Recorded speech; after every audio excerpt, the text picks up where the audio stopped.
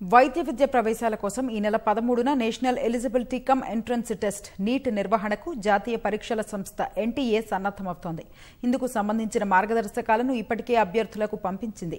దేశవ్యాప్తంగా ఆదివారంతో JEE mains పరీక్షలు ముగియగా ఇక నీట్పై ఎన్టీఏ దృష్టి సారించింది. అయితే జేఈఈల నీట్ కంప్యూటర్ ఆధారిత పరీక్ష కాదు.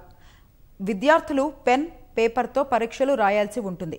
కరోనా సంక్షోభాన్ని దృష్టిలో పెట్టుకుని భౌతిక దూరం నిబంధనను పాటిస్తూ పరీక్షలు రాసే విధంగా అధికారులు అన్ని జాగ్రత్తలు తీసుకున్నారు.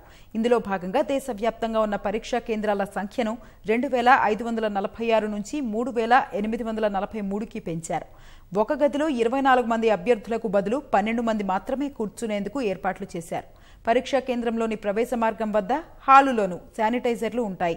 లోపలికి వెళ్ళేంత వరకు అభ్యర్థులు సొంతగా మాస్కులు శానిటైజర్లు తెచ్చుకోవాలి.